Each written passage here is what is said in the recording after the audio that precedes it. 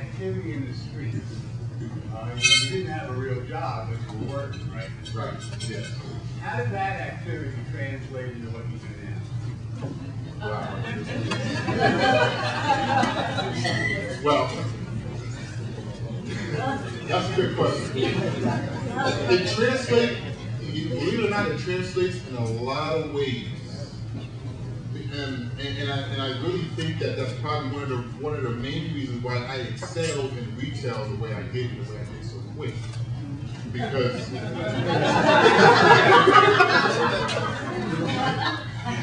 as, I- as I started working in retail, I started to recognize the similarities in what retail was about versus what selling drugs was. I mean, it, it is what it is. Okay, in retail, in retail, you, you buy merchandise in, in bulk at a cost, and you put it on the shelf, buy it in bulk, you, you do what you got to do to it, and you sell it in the streets at a, at a price. So once I realized the similarities in it, I soared. I just took off. Why you didn't go into the stock market? What was that? I'm sorry. I said, thank goodness. Oh, yeah. I heard that but you had another question? Yeah, it, it, it it wasn't just you selling drugs on the street by yourself, that's the one point. Well, You had a little help. I had a lot of help. I had a little help when I was selling drugs, but because I never had a job before, I was able to become in a leadership role and work and to be able to lead and to be able to supervise and delegate and all those things was because I reflected back to when I was selling drugs. I was considered a lieutenant of a, a large drug operation. Okay? And I was the one in charge of giving out the drugs, collecting the money, putting the people in the place they're supposed to be, watching the entire operation. And that's where my leadership skills came in. And I just took those and I applied them to the real world. What would you say to those who are, um, espousing three strikes law? I would say they need to, they need to find something else to do. There's no other way to put it, you know. First of all, you gotta, you have to wanna change yourself before anything else is gonna help you. And, and if someone is working with the three strikes law, I mean, I would think that would be enough of, of, uh, reminder, so to say, you know, for that person to, to, to not do what they've been doing all this time. I mean, I really don't have an answer for that, you know, because, like I said, you gotta wanna change inside in order to change. And if you're flirting with a three strikes law, then that should be enough inspiration for you to not want to spend the rest, the rest of your life in prison. Yes. As a mom of a 19-year-old son, I know you say, how could she have a 19-year-old? She was 19 years old.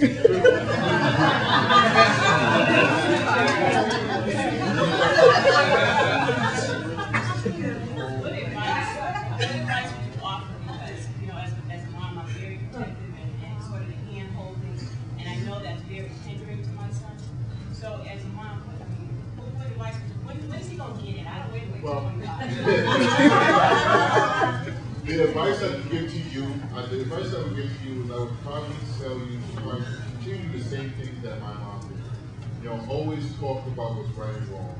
Always, you know, one thing, throughout my journey and as you read, the one thing, the most important thing to me when I was going through all that stuff, when I was doing what I was doing, um, I knew I was killing my mom inside. I knew it was hurting her.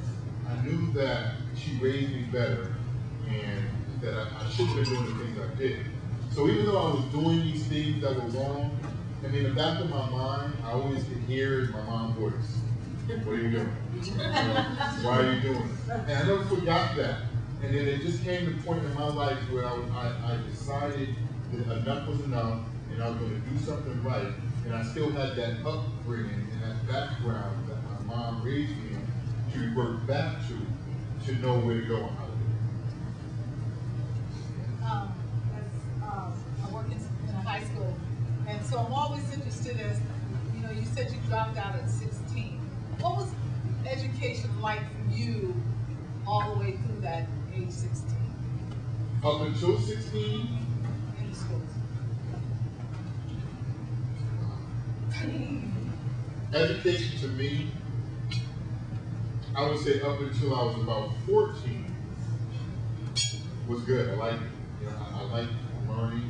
I like to um, study, and I, and I like to I like to accomplish things in school, like classwork and stuff like that. I, I like the feedback that I would get from my teachers. If, if I did a good job on a, on a report or a book or whatever, or my work, I like the accomplishment of that. But, Mean, I, and I really, I don't have an answer for you after 14 years old. For whatever reason, I, school was not an interest of me anymore. It was more about being popular, more about hanging out, and it just happened.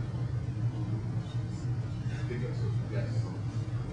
Why did you choose the title Driven? What does that say about you before and after? I chose the title Driven um, because, again, you really got to read the book. Um, I, I chose the title Driven because basically that's what it was. I, I had to drive. I was driven to succeed and not to, to continue to repeat the same things that were leading me in the prison. You know, I- no matter what, I just had to drive to, to plow forward. And what was the other question? Well, uh, you know, if you're driven, you could be driven toward negative types of things and True. consider that to be successful. Or, True. you know, in a positive direction as well. Right. It says something about your personality type, but, you know, how did you change direction? Why did you turn? Well, here, I'll tell you this, I'll tell you this. I, I tell you this right now, okay? One of the main reasons, I'll give you this. One of the main reasons for me finally deciding to change my life was because I, I, the last time I went to prison, I had a, at that time, probably a, a year or 18 months old the way I looked at things from the time she was born to now were totally different than the way I looked at her before she was born. And I couldn't stand being locked up away from my child, not being able to be a good father figure to her.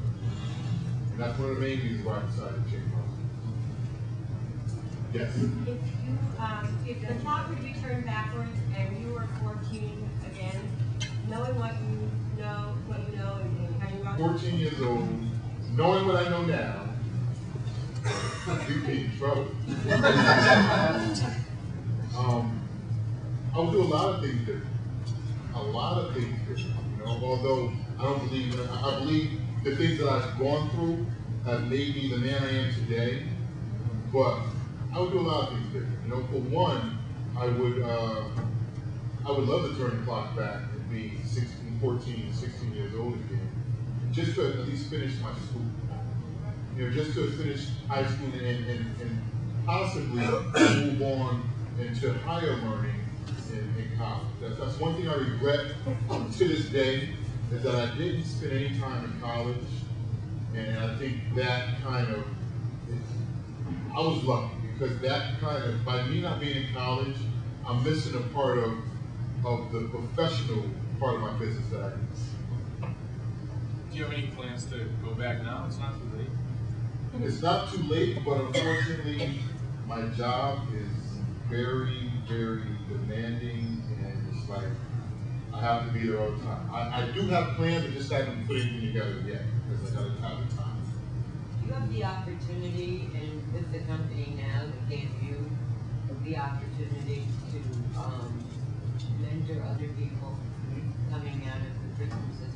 Yes, I do. I, I've done, I've been doing that since I became an assistant manager with the company. Uh, I've also given people just like me, um, as far as uh, felony convictions or whatever, I've given them, you know, chances by employing them and, and they learn me. And, you know, so it is what it is. You just answered was gonna say, you- have you ever considered setting up some type of network with other businesses to be, you know, more accepting to give a second chance to offenders? Well, unfortunately, I, I can do, I can do as much as I can by working with you all, as Workforce Alliance, working with other programs like, uh, Building Bridges, Columbus House, I work, I work with them a lot, uh, Crossroads, I, I'm going back and work with them, but I'm not in control, you know, of the entire company, so, you know, I can't really, I can only do as far, I can only go as far as my store and, and, and, what I'm in charge of. But as a company, I can't go, I don't have the decision. What could the prison be doing that uh, help people while they're in custody to be better prepared to get out? What could- Set up more shop, workshops, like, uh, um, you know, more, more programs within the, within the prison facility that shows people how to, how to develop good work ethic. And, and how to, I mean, they can start by showing people how to fill out an application. You know, they can start by showing people how to conduct themselves in an interview. You know, uh, a lot of things that I do now when I go to uh, building bridges and, and all these other companies is uh, I talk to their clients about me as an employer. What do I look for when I interview? You know, I mean, you got to know first of all that if you walk into an interview with a do rag on, chances are you're probably not going to get that job. Okay, or if your pants are hanging below your body, you know, chances are you're not going to get that job. And I, and I just try to I just try to give them hindsight of what I look at as a, as an employer because I'm the one who offers a job or not in my facility. You know, if I say no, you don't get hired. If I say yes, you get hired. So when I interview someone, you know, I'm looking to see uh, do they give good eye contact? You know, how do they respond? Are they slouched in their chair or do they sit up straight? You know, their feedback. How is their feedback? What are the what are the, the answers that they give? I mean, because personally, I mean, I, resumes are good. This is what I tell them. Resumes are good, but I can't tell off a resume whether you're going to come to work every day. You know, I can't tell whether you're going to get along with the next person, or whether you're going to follow direction and, and work hard. I can't tell that from a resume. So majority of the decisions I make are based off physical interviewing with the person. And so I, I think they, that's what they can do by starting to at least show people before they even get to the world how to present themselves the best possible way.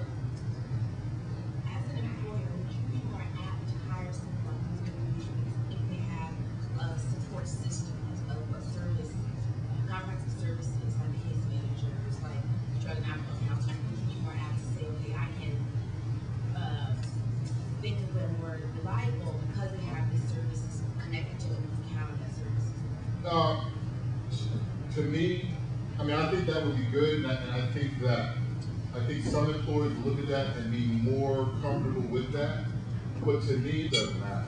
I didn't have that. You know what I mean? It's, it's all within the person. If you can have a good support system, that person can just screw you in and support them. You know what I mean? So it's just, it's just an individual, it's an individual case. In, I, don't, I mean, it's good to have a support system, but, you know, I just go by gut feeling and, and, and by how that person themselves.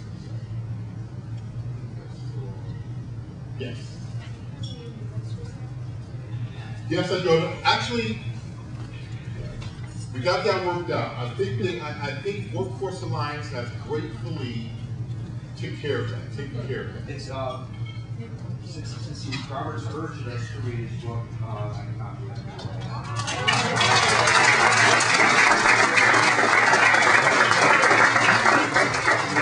Next time you see Robert, you have no excuse for not having read it. Yeah, they're for sale though, 'cause I am going. Um, well, I, Yeah, so, I mean, well, for sales. in so many different ways. You can, you can, you can purchase it through my website, which is on the back of the book. You can purchase it at any major, uh, bookstore, online, Amazon.com, Barnes and Noble, borders all those major bookstores online. And you can also flag me down and buy a copy because I always have.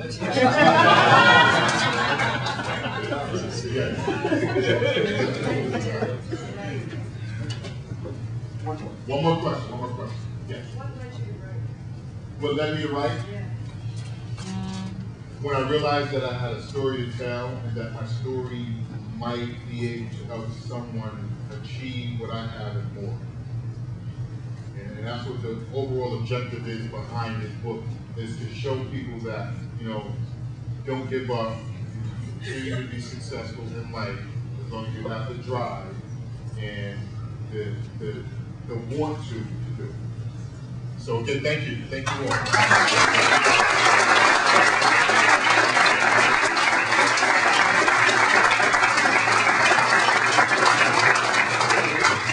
Bill, Bill promised you when we began this that he wanted to have an celebrate success. I think both Camilla and Robert remind us that there's no substitute for self-determination, but there's also no substitute for the work that all of you do in this room to support the person when they're ready to change their lives. So thank you all. Uh, and as part of that, we talk about our youth, and since I heard is unique in the fact that over here we have Joelle, Shakira, Jennifer.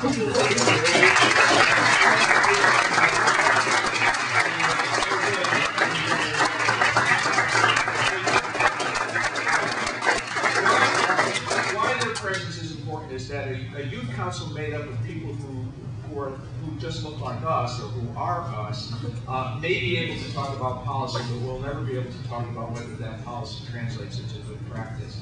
And that's why we use youth our council.